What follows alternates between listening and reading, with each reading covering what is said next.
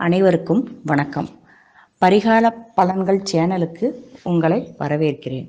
சுப காரியங்களுக்கு சீர்தட்டு வைத்தல் பற்றி இப்போது நம்ம பார்க்கலாம்.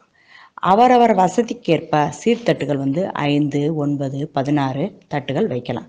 இப்போ ஐந்து தட்டு வைப்பதனால என்ன சிறப்பு அப்படின்னா ஐந்து புதன் பகவானுக்கு ஆட்சி. பொன் கிடைத்தாலும் புதன் கிடைக்காது என்ற பழமொழி உண்டு. இப்போ பஞ்சபூதங்கள் ஐந்து பஞ்சாங்கம் ஐம்பொறிகள் பால்கள் ஐந்து இவையெல்லாம் ஐந்தோட சிறப்பு. அதனால தட்டில் ஐந்து பழங்கள் வைக்கிறது ரொம்ப சிறப்பு. அதே மாதிரி ஐந்து தட்டுகளும் நம்ம சீர்தட்டுகள் வைக்கலாம். இப்போ ஒன்பது தட்டுகள் வைப்பதனால என்ன சிறப்பு அப்படின்னா ஒன்பது வந்து செவ்வாயோட ஆட்சி. ஒன்பது கோள்கள் நவதானியம் நவரசம் நவரத்தினம். நம்ம உடல்ல இருக்க பாயிண்ட்ஸு ஒன்பது பாயிண்ட்ஸு ஒருத்தர் சொல்லுவாங்க நவகிரகம் ஒம்பது ஒன்பது தட்டு வைக்கக்கூடாது அப்படின்னு. நம்ம ஃபுல்லாக எல்லாமே நவகிரகங்களோட ஆட்சியினால தான் நம்ம வந்து உடல் இயக்கம் உலகம் இயக்கம் எல்லாமே இருக்கிறனால நம்ம ஒன்பது கண்டிப்பாக அவசியம் வைக்கலாம் அதனால் தவறு ஒன்றும் இல்லை.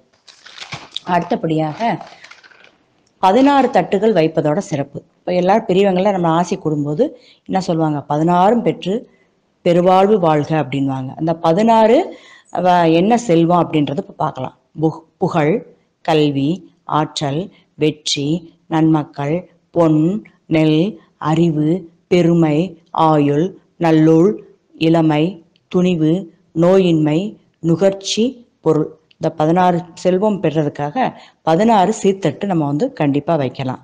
இந்த பதினாறு சீர்தட்டில் என்னென்ன வைக்கலாம் அப்படின்றது பார்க்கலாம். ஒரு தட்டில் சந்தனம் குங்குமம் வெற்றிலை பாக்கு பூ தேங்காய் வாழைப்பழம் ஆப்பிள் ஆரஞ்சு திராட்சை மாதுளை சீசன் ஃப்ரூட்ஸ் இப்போ சப்போட்டானா சப்போட்டா மாம்பழம்னா மாம்பழம். அந்த சீசனில் என்ன ஃப்ரூட்ஸ் கிடைக்குதோ அதை வச்சுக்கலாம். கற்கண்டு பேரிச்சை சாக்லேட் இனிப்பு ஸ்வீட்ஸு பூ மாலை ட்ரெஸ்ஸு அப்போ வச்சோம்னா பதினாறு தட்டு வச்சிடலாம். நம்ம எதை தவிர்க்கணும் அப்படின்னா மூன்று ஏழு தட்டு வைக்கிறத நம்ம தவிர்த்துக்கிறோம் தட்டில் வைக்கக்கூடிய எண்ணிக்கை ஐந்தாக இருக்கலாம் ஒன்பதாக இருக்கலாம் பதினொன்று இருக்கலாம் பதினாறு இருக்கலாம் அவரவர் வசதிக்கேற்ப நம்ம சீர்தட்டு அமைச்சுக்கலாம். நன்றி.